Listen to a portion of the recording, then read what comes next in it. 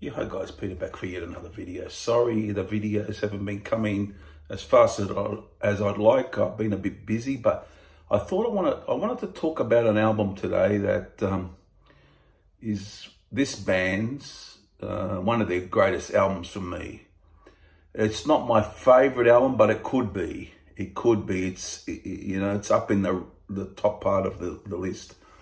But I've reviewed it before, of course, but... Um, you know, I have had thoughts of later on wanting to do my, I've been asked, but I'm very reluctant to do it because it's very hard.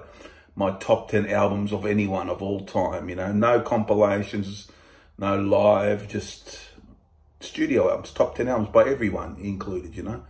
You could have two by one band in there or a top 20 even. Now, if anyone would like me to see me do that, I, have heard a lot, a couple of people have, let me know It'll be very difficult for me to do, but I probably can work work it out somehow. But I want to talk about uh, an album which could would figure, I think, in that, or uh, for me, it'd be a contender for that top ten or twenty albums of all time, and it's that band again, ACDC, and it's Powerage. Now, growing up, I always loved this album, but it was always in my you know, top three or so, you know, around there. You know, one of their best without being their best for me.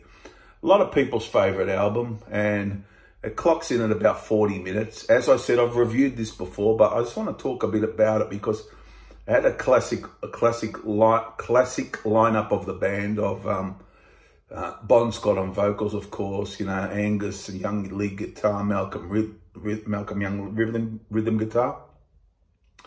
Cliff Williams, his first album on, on bass, bass, and Phil Rudd on drums, of course. And it was recorded, their last album to be recorded in Australia and produced by Vanda and Young, of course. Now, this is the uh, the mid '90s remaster. I haven't got the latest mastering. I don't know if it, if any of you is that does it sound any uh, better.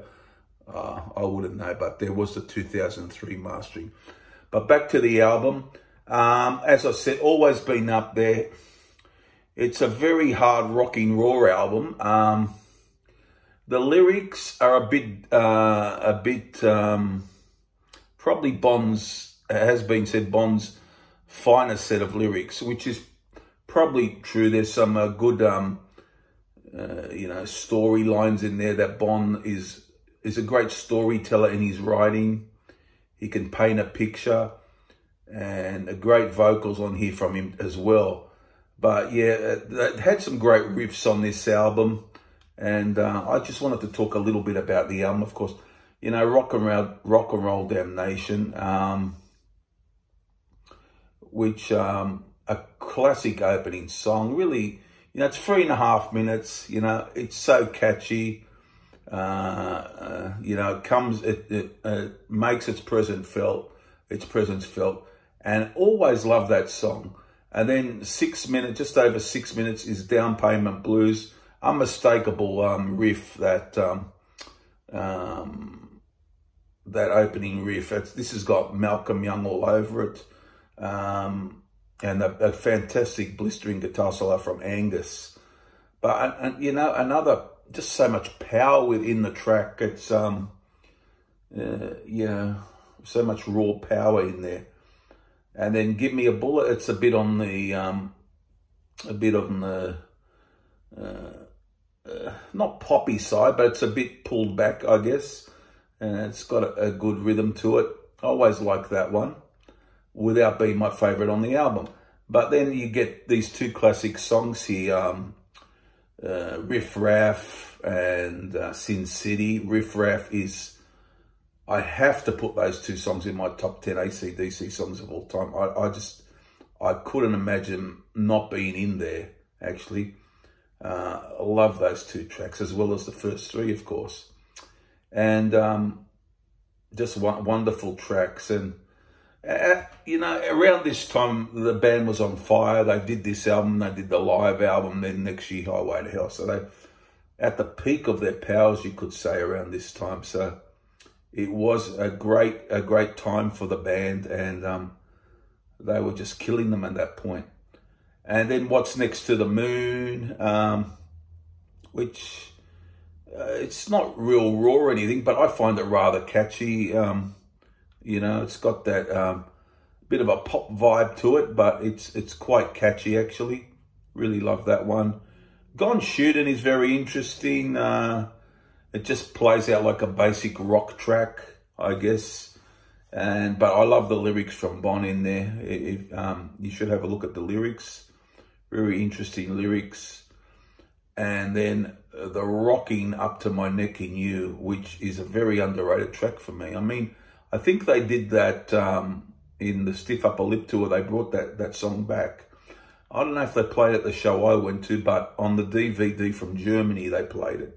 The Stiff Upper Lip DVD. Um, I believe that is in, in on the DVD, if I'm not mistaken, but I believe at that time they brought it back up to my neck in you, which is a great rocking track. It just rocks out. Um, really good stuff. And Kicked in the Teeth and um, classic Bon that um, uh, it starts with him just with his um, voice and then the guitar comes in, of course. But, you know, one of their best albums for sure. And it has to be a contender for one of the has to be one of the greatest hard rock albums of all time.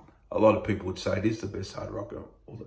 But as I said, guys, I've I've reviewed uh, reviewed this before, but I just wanted to, um, to talk more more about it, a bit more about it, and and give you my intentions if I if, if I do um uh, top ten um top albums of all time uh, or um top twenty albums of all time. But I just a few thoughts on Powerage today. And um, it was the second last album of Bon, of course. Then Highway to Hell came along. And then unfortunately Bon passed in 1980. Then Brian came on back in black. And you go it goes on from there, of course. After that, the rest is history, as they say. But um, yeah, really, um, not too many albums as good as this, you know, by any band, I would say.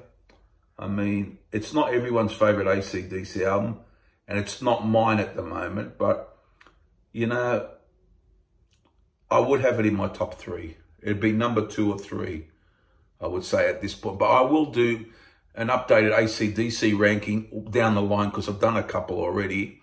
But down the line, if you'd like to see that, of course. But um, just a few thoughts on Powerage. What do you think of this, guys? Because um, I reckon it's um, a great rock and roll album, really great hard rock and roll, really um, pure uh, in its purest form, you could say.